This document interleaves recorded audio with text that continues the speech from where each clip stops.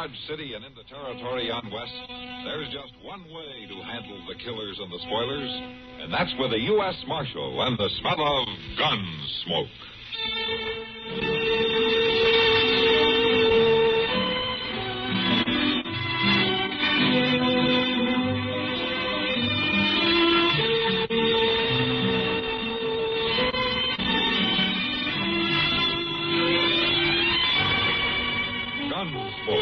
Starring William Conrad. The story of the violence that moved west with young America.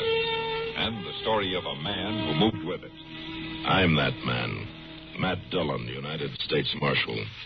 The first man they look for and the last they want to meet. It's a chancy job, and it makes a man watchful and a little lonely.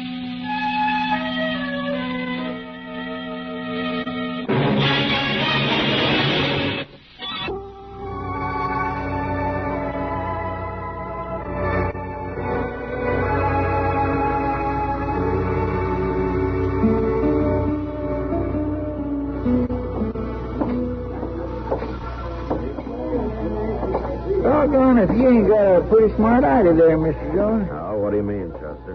Well, fixing up the back of his wagon that way with that player piano, that thing that drops down, makes a platform to stand on and feel at the crowd.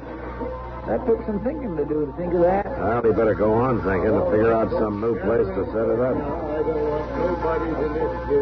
He's about to start his selling talk. Yeah. Oh, we'll wait till he finishes.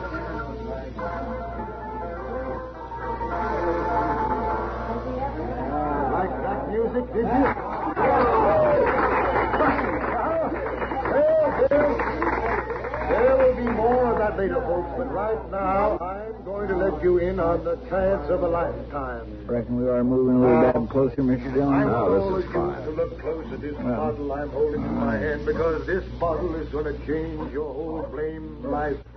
For every single one of you, you're asking me why. And I'm going to tell you why.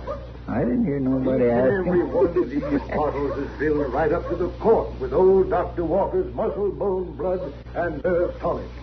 And if there's a man, a woman, or a child here that ain't ever heard of old Dr. Walker's muscle, bone, blood, and nerve tonic, let him speak right up now and display his ignorance. You heard of it, Chester?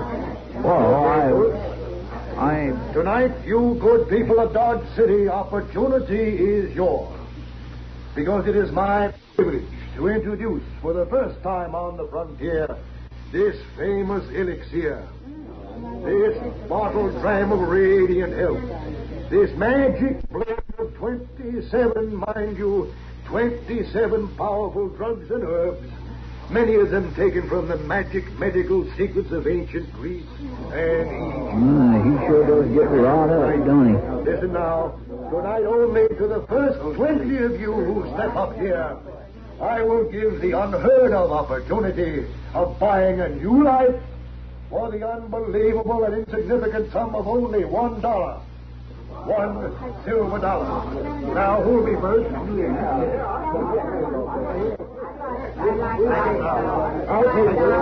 You gonna tell him now, Mr. Jones? No, wait till he finishes with his customers here. Well, Mr. Jones, Yeah. could I borrow a dollar to pay them?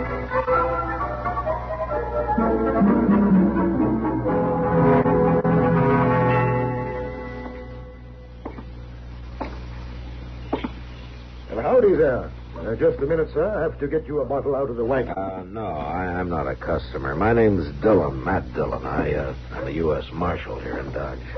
Oh, I see. Well, uh, it hard? it's the law, Meg. Oh. My name is Hart Finney, Marshal. Meg, this is Marshal Dillon. This is my wife. Pleased to meet you, man. What do you want with us? Now, Meg, Meg. Marshal, I, I know how some of these tonics people sell are, but this one of mine is different. I'll swear to that. Well, that's not quite what I mean. I had bad health, Marshal. That's why we had to leave Virginia and take up this kind of work. Live out in the open, the doctor said. And I'll tell you, I've been taking this tonic myself regularly. And it helps, too. I, I feel a dang sight better than I ever did. Well, I'm glad to hear that, Mr. and the price ain't out of line either. It costs me 60 cents a bottle cash laid down in Kansas City. And if that's out Uh, wait just a minute, Mr. I'm not here because of this medicine you're selling. It's, uh... Well, it's the spot that you picked uh, selling on. this place, Mm-hmm. what's the matter with it? It's common held land, ain't it? Uh, no, it belongs to a man named Grant Medford, a saloon keeper here in Dodge. But I asked a couple of people, and they said it was public. There's even a well on it, everybody. Well, I know. Uh, people have uh, gotten kind of into the habit of thinking of it as public property, but it isn't. Grant Medford took it up under the Homestead Act quite a few years back. He just hasn't gotten around to proving it up yet. Oh. But now he's aiming to. Is that it? All of a sudden. Right this week. Well, I wouldn't know. He still got a right to keep trespassers off, though. So he's uh, filed a legal complaint, Mr. Finney. Oh, it ain't like I was hurting the property, none, Marshal, and I'm only going to be here less than a week just as my stock is gone. I got no choice, Mr. Finney. I got to serve this notice on you. It's the only vacant ground around that's close to the saloons and eating places where a lot of people come by. I'm sorry. You're telling us to get, is that it? Yeah, I'm afraid so, Mr. Finney. I can give you till morning. And that's all. Marshal, I'm a reasonable man when I'm treated reasonable. It, it, ain't you, I mean. You got your duty to do, but this fellow Medford, well, he sounds mighty selfish. And I don't like a selfish man. No, Marshal. I'm not hurting a thing. I'm staying. I'm sorry, Mr. Finney, but the law says you can't. And what do you say? Well, I'm a lawman.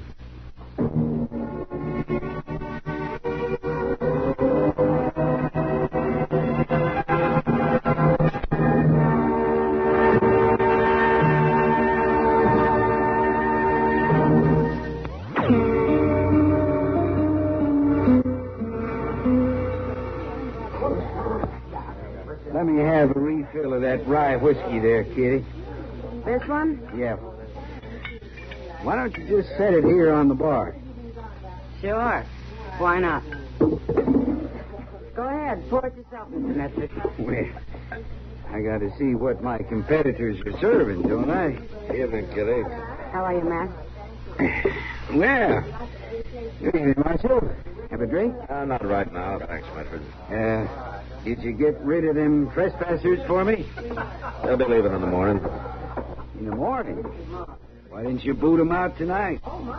That won't hurt anything to let them stay till morning. Of course, I might be persuaded to let that woman of his stay around as long as she wants. She's a mighty good looker. Look, Medford, uh, this man Finney seems to be pretty decent and honest. He's heading out for Kansas City as soon as he gets rid of his stock. It wouldn't hurt you any to let him stay out the week, would it? Well, now, I reckon you did see that woman all right.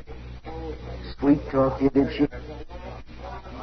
That's enough, Medford. Marshal, I signed a trespassing complaint. Ain't that right? Yeah, you did. Well, then, why don't you just go serve it? You're always talking so all-fired holy about upholding the law. It's been served, Medford, and I'm just trying to give you a chance to do something for somebody for once in your life. You get them two out of there, Marshal. If you ain't man enough, then me and the boys will come around and do it for you. You and your boys poke your noses into my business, and I'll knock your heads together. Is that clear? I have nothing more to say to you. Wait a minute, Mr. Medford. You owe me a dollar for those drinks. A dollar. Well, at my place, you can get four drinks for a dollar. Sure, but we buy our liquor. We don't make it in the back room. Nah.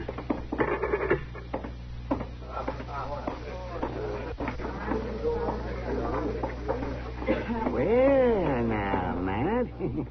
what seems to be the trouble here? You ought to know, Doc. You and Chester have been standing there hanging on every word, flapping your ears like a pair of jackasses. Oh, now don't you go taking it out on us just because you're riled up at Grant Medford. That man's got me riled up, too, Doc. Well, uh, by all rights, I ought to be trying to run this Finney out of town myself. You know, he's going to hurt my practice if that stuff makes everybody as healthy as he claims it will. And I notice you bought a bottle from him yourself, Doc. I did. Oh, oh, yes, of course. Yes, yes. Well, I was, like I was saying the Chester, I wanted to find out what was in it, you understand. See if it was harmful or not, that's all. Well, if you ask me, there ain't nothing harmful about it. I bought myself two pints of it. Oh, yes, you would. You drink anything as long as they put it up in a bottle. But just the same, Doc, it's got a mighty pleasant taste to it. It ought to. It's 20% alcohol. See, man, Grant Medford's a cheap, crooked skinflint. And everybody in town knows it. Now then, why don't you just tear up that warrant and forget about it? I can't do that, Doc. The Finneys will have to pull out first thing in the morning.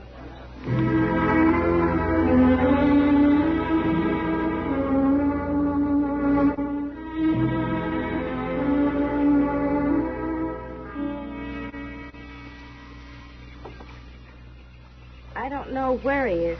And I ain't lying to you, Marshal. I didn't say you were, Miss Finney. I tell you if I knowed, but I just don't know. At least not exactly. Well, he must have told you something before he left, didn't he? Well, sure he did. Just like I said. You're to wait here till he gets back. Now, He knew the two of you were to be off this property the first thing this morning. Oh, he knowed it, all right. He'll be here. Any minute now, Marshal. Miss Finney, how do you know he'll be here if you don't even know where he went? I didn't say that. I said I didn't know where he was right this minute. Then tell me where he went. I can't tell you, Marshal. Hart said not to. He said he'd explain you all about it himself. And anything Hart says me to do, I do. Look, ma'am, I know loyalty is a fine thing, but I served an eviction notice on you two last night, and you've got to abide by it. Your feelings are, well, mine either. Don't enter into it. It's all right, Marshal. It's all right. She was only doing what she was told to. Where's the bed, Fanny? Over to see that judge of yours. What's his name? Uh, Judge Bent. Yeah, that's Judge Bent. He's a mighty fine man. Open-minded and fair. Knows the law, too. Uh, well, he gave me a paper here, Marshal. I reckon maybe you ought to take a look at it. Uh-huh. Of think something like this ought to hold up. Provided, of course, you're of a mind to enforce the law the same for out-of-towners as you do for Dodge City. The man's right. It's right, Mr. Finney, no matter where he comes from. Then you will back up this here piece of paper? It might take some doing. Grant Medford's a hard man, and he's got some mighty tough boys working for him. Marshal, maybe the law here can't be bought out. But could it maybe get scared out? Why don't you just wait, Mr. Finney, and you'll see.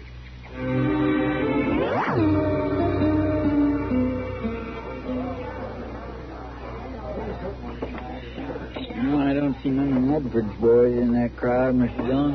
Uh, he'll bring him with him, Chester, whenever he gets himself All right, worked folks, up. quiet down now. I want your undivided attention, if you please. Now, in just a few short minutes, I'm going to open the doors of opportunity to one and all of you once again. And while you're waiting, my good wife, Meg, will put a new roll in the piano. All right, Meg. Give the good folks a little tune.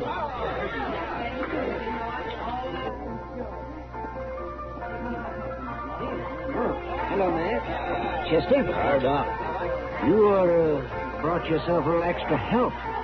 Grant Medford will have eight or ten men with him. I told him the same thing. Well, you're almost right, Doc. He's got nine men with him. Yeah? What do you fancy? Oh, oh, yes, by God. There they come. Marshal. Marshal. He's coming down the street there.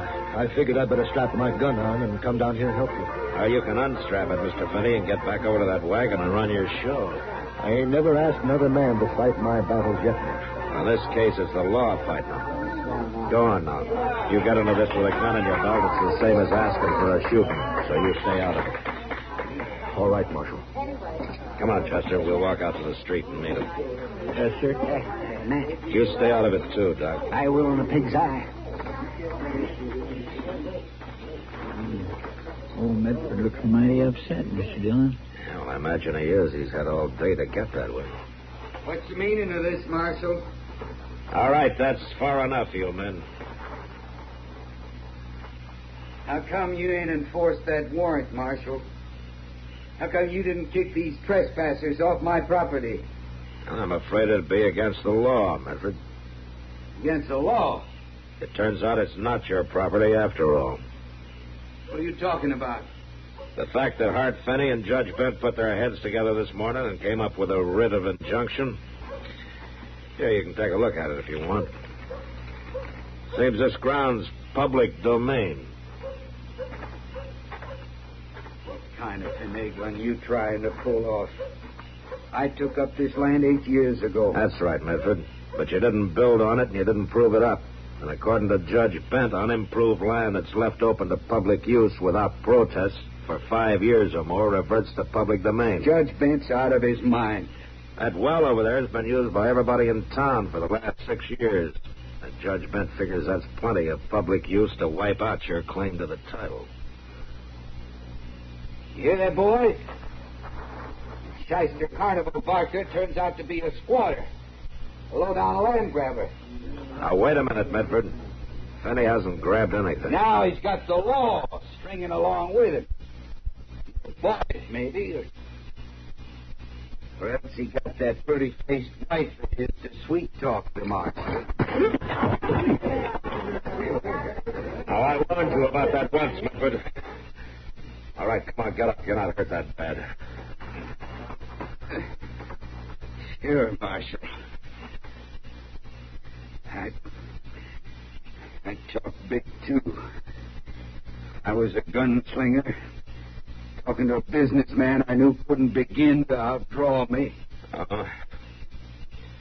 You got some kind of suggestion you want to make? Sure. Sure, you take off that gun. I'll break you in two. Chester. Yes, sir? First one of Medford's men that makes a move, blow a hole in him with that shotgun. Yes, sir, Mr. Dell. Here, Doc. Oh, my gun belt with him. I sure will, man. All right, Mr. Medford. Start breaking. I'm ready. I've been waiting for a chance like this. Watch out for his spurs, man. That's it. You ain't broken anything yet with a handful of yours.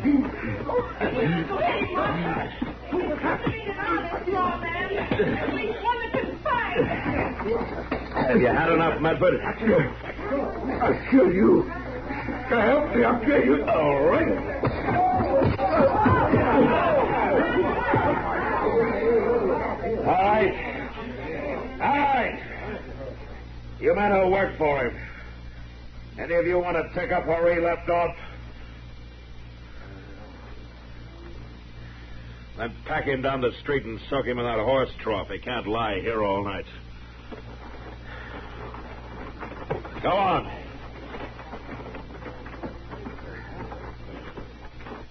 We're both mighty grateful to you, Mark. Oh, forget it, Mr. Finney. If it happened sooner or later, even if you hadn't been here, he's had it come for a long time. He certainly has, Matt, and you gave it to him. Good.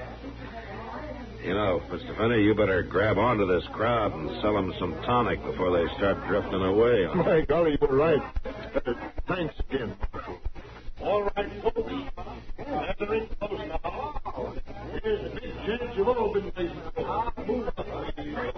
Move up just a little closer. Well, looks like Dodge has got itself a new municipal park, doesn't it? Yeah. That's right. Looks like we're going to be civilized around here before you know it, Mr. Jones. we sure are, Chester. oh, uh, excuse me, boys. Uh, I got to get me uh, some more of that stuff. You're still testing it, Doc? Well, of course. What else would I be doing? Hey, uh, tell me something, will you? Tell you what. You sure that stuff's only 20% alcohol?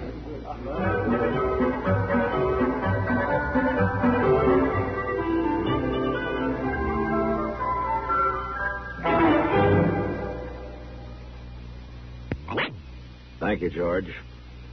You know, it was just five years ago this month that uh, Matt Dillon, Chester, Kitty, and Doc first walked along the plaza in Dodge City, Kansas.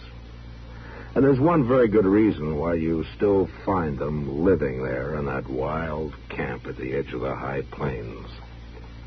CBS radio's listeners seem to want it that way. It's our feeling that perhaps no period in American history has given birth to so many giants, legendary or historical, as those fabulous frontier years. Uh, we like to think that Gunsmoke has had a part in portraying it. We've tried for as much truth as good drama will allow and as research will furnish. And we like to think also that radio brings you the full flavor of this Old West. Matt Dillon's little asides to Chester Proudfoot can conjure up vivid pictures of, oh, the Kansas plains, the sod huts, the great herds of Texas cattle, the heat, the mud, the buffalo skinners, and the lonely ranging bands of Indians, all of which have long since vanished from the American scene. So, uh, on this, our fifth anniversary, may we sincerely thank you for your interest, which, after all, made the whole thing possible. Gunsmoke. Produced and directed by Norman Macdonnell, stars William Conrad as Matt Dillon, U.S. Marshal. The story was specially written for Gunsmoke by Les Crutchfield, with editorial supervision by John Meston. The Gunsmoke theme was composed by Rex Koury. Sound patterns by Tom Hanley and Bill James. Featured in the cast were John Dehner, Vic Perrin, and Virginia Gregg. Parley Baer is Chester, Howard McNear is Doc, and Georgia Ellis is Kitty. William Conrad, co-starring with Academy Award winner Anthony Quinn, may soon be seen in his own production of The Ride Back for the Associates and Aldrich, a United Artists release.